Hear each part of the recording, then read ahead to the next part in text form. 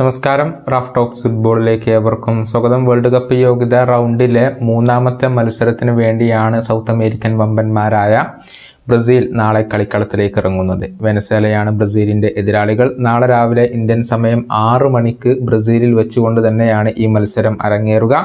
നമുക്കറിയാം ആദ്യത്തെ രണ്ട് വേൾഡ് കപ്പ് യോഗ്യതാ മത്സരങ്ങളും വിജയിച്ചുകൊണ്ടാണ് ബ്രസീൽ ഈ മത്സരത്തിന് വരുന്നത്. ഈ മത്സരങ്ങൾക്കുള്ള ടീമിൽ ഇടം നേടാൻ സൂപ്പർ സ്ട്രൈക്കറായ റിച്ചാർലിസിന് കഴിഞ്ഞിട്ടുണ്ട്. മോശം പ്രകടനമാണ് അദ്ദേഹം ഇപ്പോൾ നടത്തുന്നതെങ്കിൽ കൂടിയും പരിശീലകനായ ഡിനിസ് റിച്ചാർലിസിന് അവസരം നൽകുകയായിരുന്നു.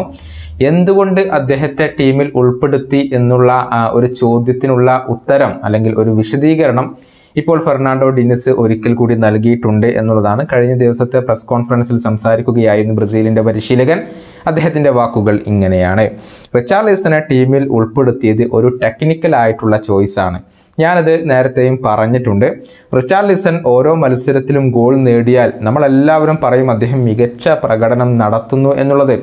പക്ഷെ അദ്ദേഹം ഗോളുകൾ നേടുന്നില്ല എന്നുള്ളത് ശരിയാണ്. എന്നാൽ അദ്ദേഹം കളിക്കുന്നത് വളരെ മികച്ച രൂപത്തിലാണ്. ടെക്നിക്കലായിട്ടും ടാക്റ്റിക്കലായിട്ടും റിച്ചാർലിസൺ ഇപ്പോൾ മികച്ച രീതിയിലാണ് കളിച്ചുകൊണ്ടിരിക്കുന്നത്. ഇതാണ് ഫെർണാണ്ടോ ഡിനിസ് ഇതിനുള്ള ഒരു വിശദീകരണമായിക്കൊണ്ട് നൽകിയിരിക്കുന്നത്.